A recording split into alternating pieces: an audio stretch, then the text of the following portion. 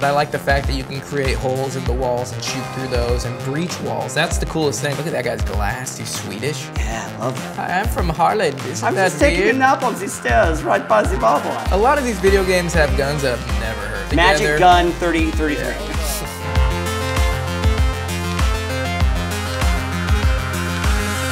What's going on, everybody? We are back, the guys from Pop Culture Field Manual Podcast. My name is Cameron Fath. I'm a former Army Ranger out of 2nd Ranger Battalion out of Fort Lewis, Washington, and I am here with my partner in crime. Israel Wright, former Green Beret, also out of Fort Lewis, Washington, deployed to Iraq in 2008. And today we're going to be looking at gameplay from Rainbow Six Siege, team gameplay, a little bit of team tactics and stuff like oh, that. I know it, it looks super good on paper. I'm excited to see it on the screen here and the use of tactics and team cohesion. Let's take a look at it.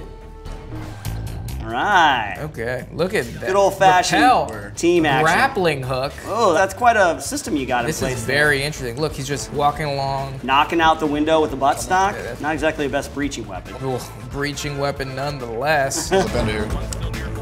He's doing a lot of Canting. Yeah. Can- Classic canting. I feel like when you're walking down, you're supposed to be at the high ready, right? If you're walking with your eye through your optic, you're losing a lot of uh, visuals there. So I mean, if you're walking down here, definitely be at a high ready, but it takes a, mil- a millisecond to come from here to here.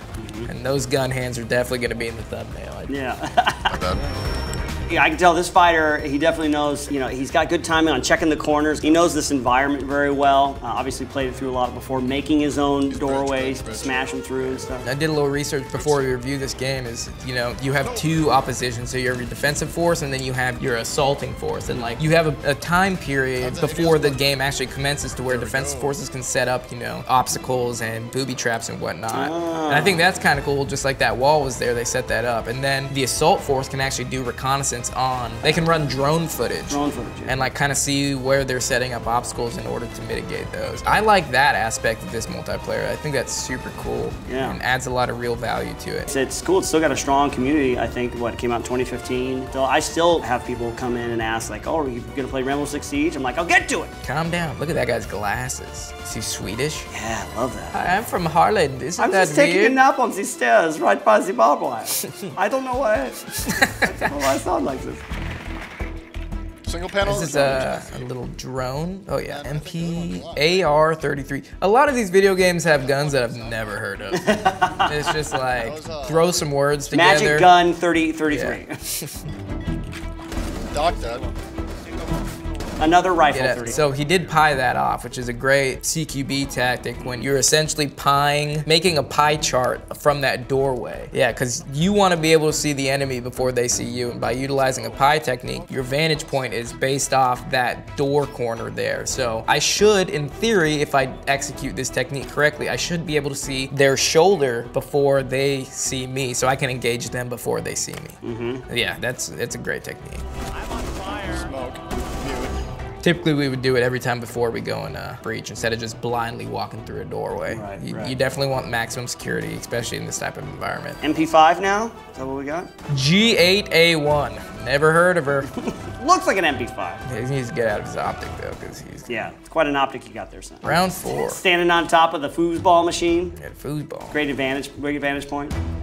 Interesting, because especially if you're canting, if you're a right-handed shooter and you're canting left, to switch hands and you know work that corner, keep behind that corner. We train a lot of transition drills, so like you won't be shooting right-handed the entire time, because I mean your terrain dictates it. See, if he's on the left side of this door, right-handed shooters benefit, but if you're gonna switch to that right side, you might as well switch hands. so Interesting. Less. I remember less training with uh, switching. Mm-hmm. I just remember that just wasn't something that we emphasized when we were training. Yeah, I mean, as time continues to by, tactics evolve. New technology comes out. We're starting to find, like, you know, some things that we did prior just don't make sense anymore. There's safer ways to do these actions. Like breaching, everyone thinks, I mean, as far as entering, everyone thinks just stack up and go in. Well, now we're starting to find that, you know, that there's more threat and there's more dangers to doing that. So by doing a really nice methodical pie of that door and then entering, and it's like if you're taking contact from the building and you don't need to go in there, why risk entry?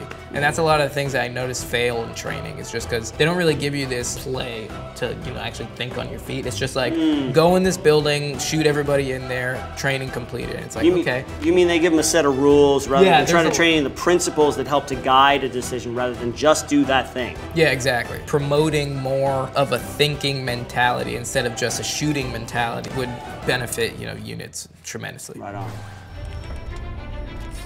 Nice pistol, man. Yeah, just love shooting. Just bang, bang, bang. Cool. Ooh, we got a little uh, P90 action. That's a cool weapon system, man. Bullpups. Mm-hmm. They're pretty Never used them, yeah. Me neither, but I, I appreciate the concept. Right. You can Puts everything kind of closer to the shoulder. The Yeah, you can achieve a longer barrel length with a shorter gun because the feeding or the magazine and where the actual chamber is is behind the trigger mechanism, so you can get a longer barrel instead of having a magazine up here and then you know having the same length barrel. I can push it back and have a more condensed uh, weapon platform. But yeah, the P90 is really cool because it uses a 5.7 round, which is really interchangeable with like FN. Typically makes their weapons really interchangeable. So if I can run a P90 and then like an FN 5.7 pistol, I can literally use the same ammo on each. And it has the velocity on that round is super cool too. Got him. Good call. Nice. I love the shooting through the floorboards above there.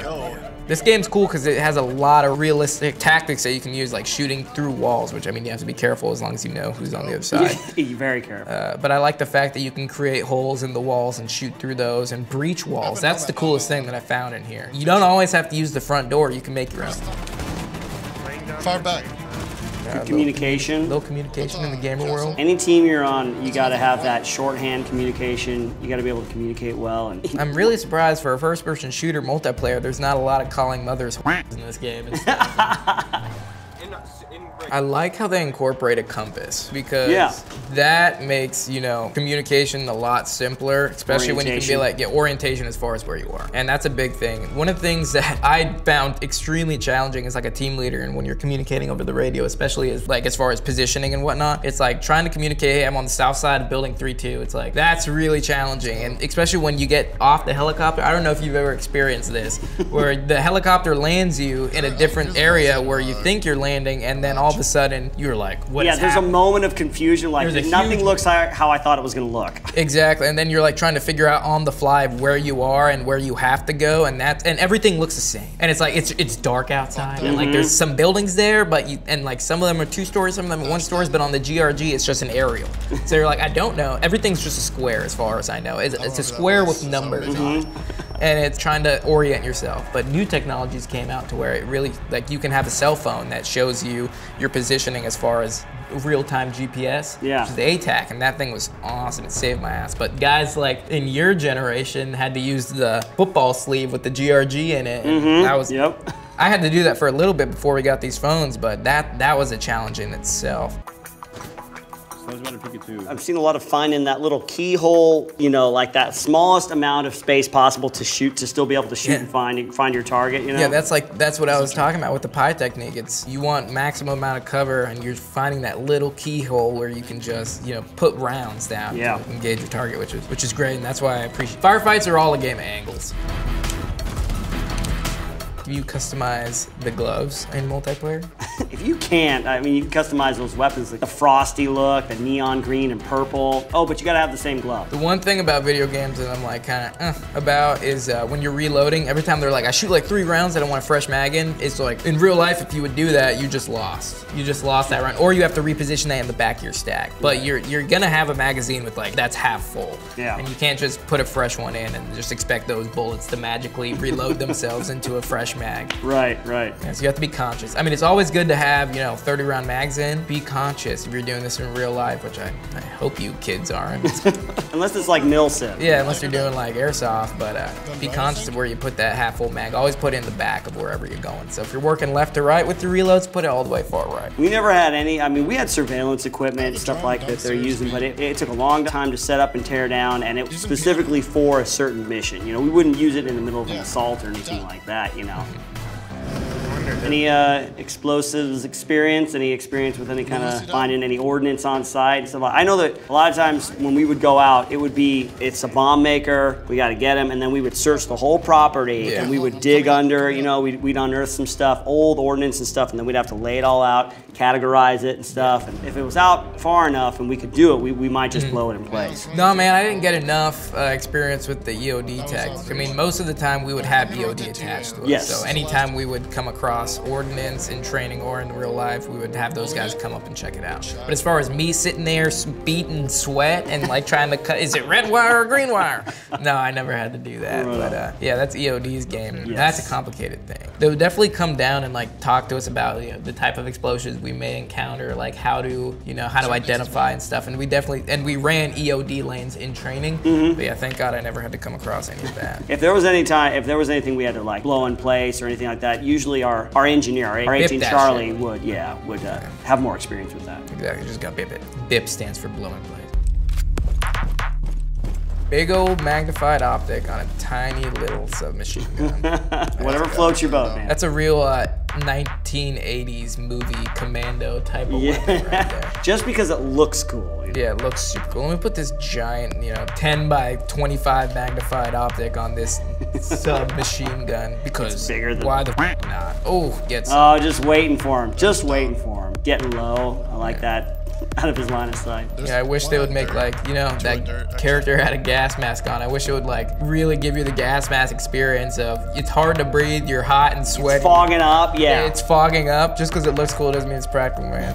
yeah, MOPP gear was was not a fun thing to fight. you don't generally really ever want to have it on unless you need to have it on. Yeah, and even that, I'm still. yeah. I'll, I'll breathe some gas in.